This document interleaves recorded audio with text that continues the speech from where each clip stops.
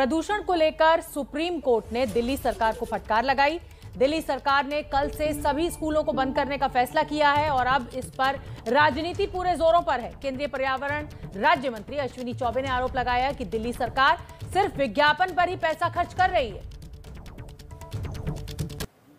हर राज्य सरकार स्वतंत्र होता है। जी। है फिर भी हम लोग बराबर एडवाइजरी भी दे रहे हैं। हम दिल्ली सरकार को हर तरह का मदद भी करने के लिए हमने नोएडा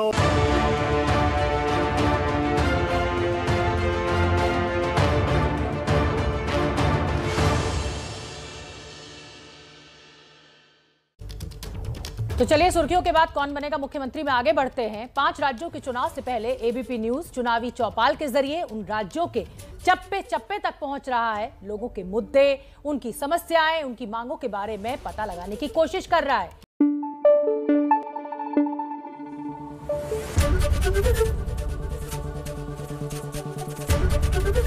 एबीपी न्यूज़ आपको रखे आगे।